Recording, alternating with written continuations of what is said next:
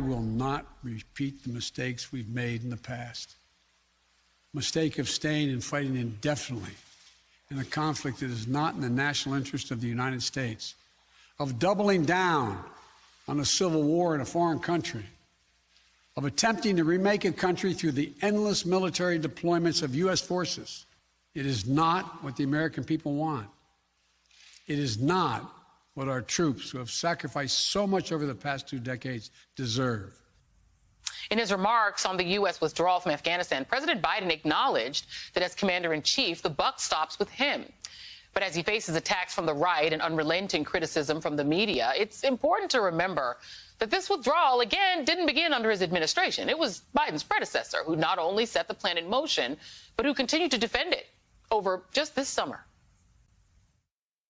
I started the process. All the troops are coming back home. They couldn't stop the process. 21 years is enough, don't we think? 21 years. They couldn't stop the process. They wanted to, but it was very tough to stop the process. Joining me now is David Corn, Washington bureau chief for Mother Jones and the author of a new newsletter, This Land, and Tom Nichols, contributing writer for The Atlantic. Um, one of my favorite contrarians, Tom. I want to go with you first. I find it ironic, right? The one thing that sort of Trump curious liberals liked about him and found not objectionable about him was this thing he would say about no more endless wars. They agreed with that, right? And now it is it is it is ironic in a way that it's Biden. Let me play this for you. This is Biden voicing the non sort of you know, white nationalist version of America first, pretty bluntly in his interview with CBS. Uh, with CBS, take a listen. But then don't you bear some responsibility for the outcome if the Taliban ends up back in control and women end up losing the no, rights? No, I don't. Look, are you telling me that we should go into China because go to war with China because what they're doing to the Uyghurs, a million Uyghurs in the uh, out in the West in concentration camps? The responsibility I have is to protect America's na national self-interest and not put our women and men in harm's way to try to solve every single problem in the world by use of force. I mean, like it or not, Tom, I think most Americans agree with that. And that's why we're pulling out. I mean, the the criticism here is that Biden is screwing up the execution of an idea that everybody wants to do. Um, and I and you know I think he's going to have to own that. I, I, think this will be a case study in a bad policy execution of a of a, a good policy uh, for a long time to come because the more immediate things about are there enough, you know, did we get enough people out? Are there enough planes? These are things that are within Biden's control and he can't lay them off on his predecessor. But Biden is right that, you know, the American people, insofar as they seem to care about this or when they choose to care about it, have consistently said for three or four, really, if you count the end of Bush's administration, that you know, to every president, we want you to leave this place. And every president says, well, I, would really like to, but I can't because of bureaucracy and alliance issues and military advice and so on. And Biden finally just said, okay, I'm going to give you what you want. And now there are people saying, well, I didn't really want that. I didn't know that, you know, pulling out was going to look like this. Well, there was no version of this that ended differently there were versions of it that maybe ended with less bloodshed and less horror and less, you know, just chaos on the ground. But the Taliban taking over this country again, that was what, you know, the American public, whether it realized it or not, that's what they said they preferred over staying there. Yeah, and, and, and also the Taliban is not like they're different now than they were before. This is how they are, right? So this is what one should have expected. You know, David, the, the, the thing that is very difficult to listen to is Republicans, you know, screaming that, you know, there should be, you know, Kevin, Kevin McCarthy ripping the strategy, calling for investigations. He won't even investigate the January 6th insurrection. Some other random Republican, Jeff Van Drew, uh, saying Biden, uh, Kamala Harris, and Speaker Pelosi all should resign. Rick Scott, the guy who took a bunch of money, uh, his company took a bunch of money from uh, Medicaid and Medicare and TRICARE, serious questions of Joe Biden's removal from office. None of these people care about this. Um, it, it's hard for me to listen to because you had 16 House Republicans vote against more visas for Afghan allies. They didn't want those people to come here. Now they're acting like they care so much about them. You had uh, the Mike Pompeo posing in a picture with the guy who's now running Afghanistan, saying, "Look at this great deal that we." put together. This was Trump's policy, and they loved it. Now they're deleting all of their tweets, and uh, and uh, even Trump is deleting his There it is. There's Mike Pompeo. Your thoughts, David?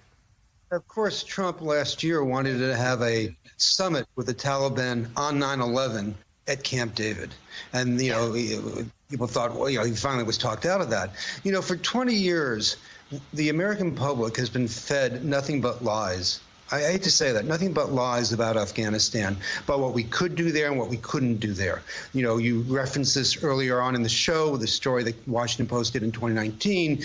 Doug Lute, who was the Afghan czar for both the Bush, George W. Bush administration and Barack Obama, in 2015 told government interviewers, we don't know what we're doing, we have no clue, we're devoid of a fundamental understanding um, of what's happening in Afghanistan. And he was guy in charge. And so now we, we get to this point where, um, you know, none of those Republicans were speaking out now, and many of the Democrats actually too, never cared about the steady flow of lies. It was, I have to say this, was bipartisan. It happened during the Obama Biden administration as well, that Joe Biden was part of. So I think, you know, we have never had an honest debate, an honest discussion in this country. So we're not prepared to to look at what's happening now, which is horrific. And I feel for the Afghans, and I do think there are questions about the implementation of, of this policy.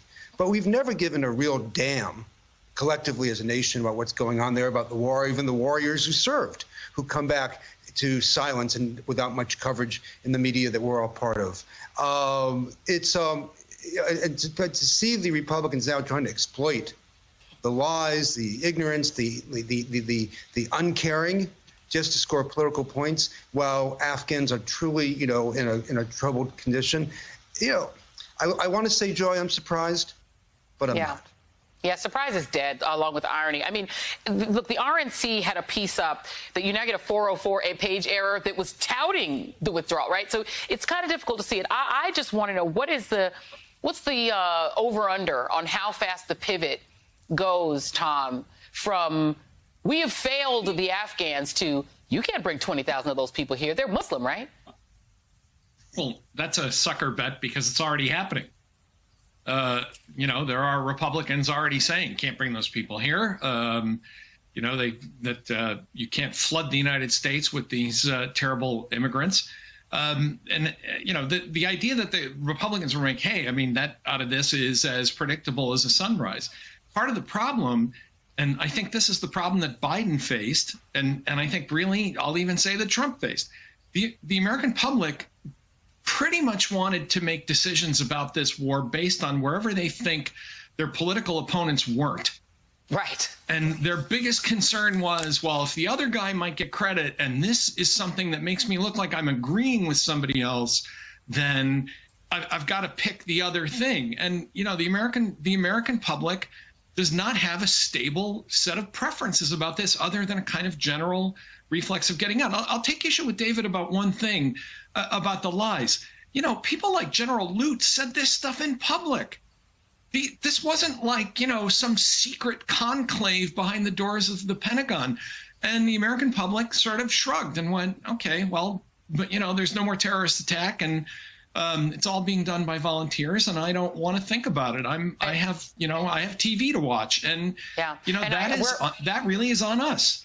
And the reality is, the way you know about it is that after we got bin Laden during the Obama administration, most Americans didn't give Afghanistan another thought until right now when they're looking through their politics to see how do I need to feel about this based, as you said, on where your politics are. Just like with the vaccine, it's just bananas. It's where we are. David Corn, Tom Nichols, thank you both.